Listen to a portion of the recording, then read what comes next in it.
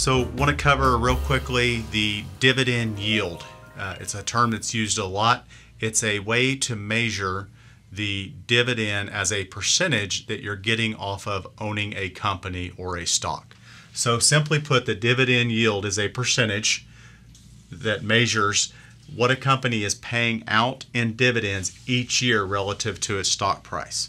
So, you're basically taking the amount of money a company pays shareholders, the dividend, and you're dividing that by the current stock price to get a current yield price. And we'll go over what that means and compare a couple of different um, companies, Company A and Company B.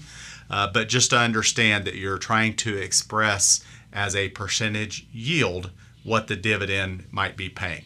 And again, dividends aren't guaranteed, but they're one way that you make money in the market besides just the price per share going up. If you're getting a dividend and you don't need to spend that money as income, maybe you're not retired yet, or maybe you are retired and you don't need the income off of that, that gets reinvested back in and buys more shares. Sometimes the shares of that company may be down in price and that dividend is buying more shares.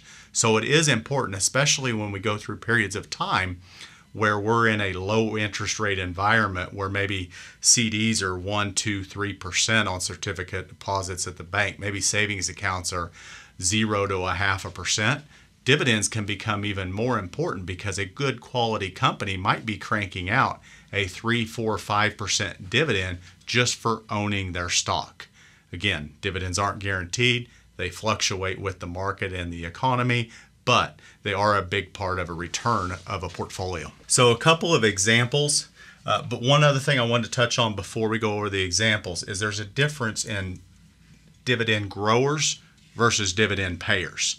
So, dividend payers are traditionally those companies, uh, they've been around forever and ever. They're profitable enterprises.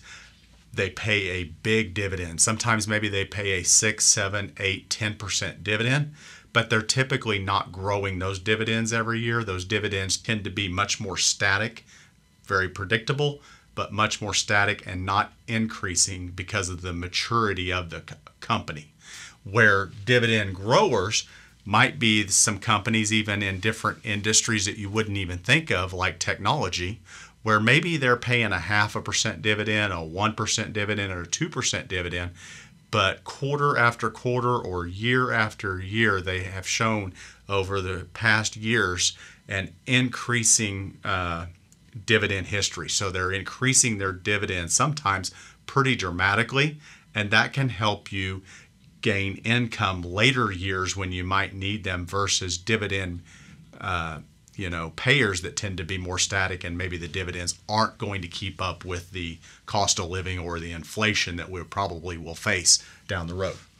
So in example, company A, again, we're going to take the annual dividends that the company pays per share and we're going to divide it by the current price that it's selling for in the market.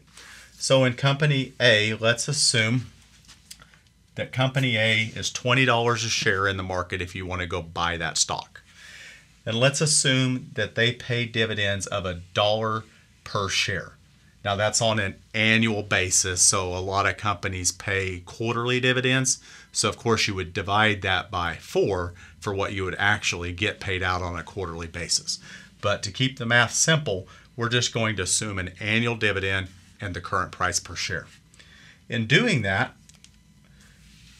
1 divided by 20 $1, excuse me, divided by 20, you're basically looking at a 5% dividend yield. So in other words, as expressed as a percentage, that is the dividend that is getting paid on this stock. Company B is selling at a price per share in the current market of $40 per share. And they pay also the same annual dividend of the $1 per share. So on every share of their stock out there that you and tons of other investors own, they're paying out $1 per share of dividends. Their annual dividend yield would only be 2.5%, the dollar divided by the, the, the $40, because they are paying the same dividend per share, but you're having to pay more to buy their stock. So you're getting a 2.5% dividend yield.